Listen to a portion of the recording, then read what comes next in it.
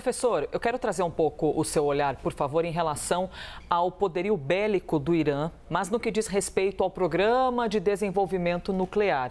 Essa é uma questão que a gente costuma trazer bastante aqui com o Américo Martins, porque é um detalhe que chama muito atenção e que mexe muito com os temores de quem acompanha um conflito como esse, de tá, em algum momento nós vamos ver um avanço nuclear. O senhor pode explicar para a gente como é esse programa nuclear do Irã? Assim, se eles quiserem, eles podem, ah, vamos construir uma arma nuclear, decidimos que vamos fazer. Como é que é isso, professor?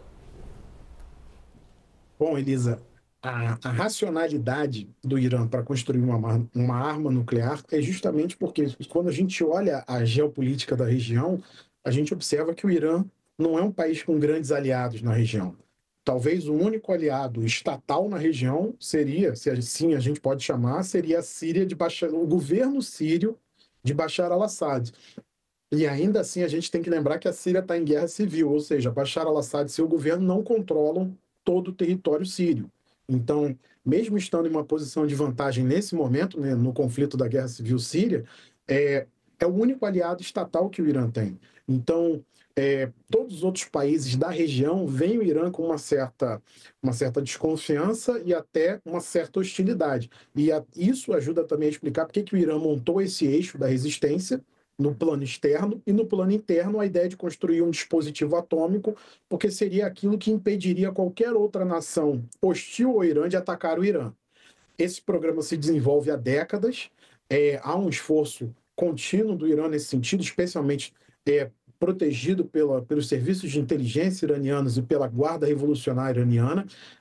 Entretanto, esse mesmo programa tem sido alvo de ações israelenses para sabotá-lo, porque para Israel é muito claro que o momento em que o Irã tiver uma arma nuclear abre um precedente perigoso para a segurança de Israel.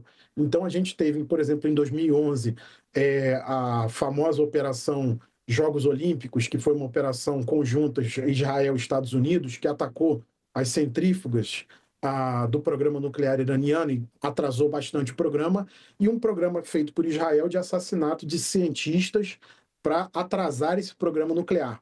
O Irã tem como objetivo, claro, um desenvolvimento de uma arma atômica, e esse programa anda de maneira paralela com o programa de desenvolvimento de mísseis balísticos, que seria a forma de você. seria a plataforma na qual você colocaria uma arma atômica. Então, é uma, é uma questão geopolítica extremamente sensível, porque para Israel envolve a própria existência do Estado de Israel, e Israel já declarou por vários primeiros ministros, não só o Netanyahu, mas Naftali Bennett e outros primeiros ministros ah, na história recente do país, já declararam que não deixariam o Irã ter um armamento nuclear. Há também outros países da região que ficam extremamente tensos com isso, especialmente a Arábia Saudita.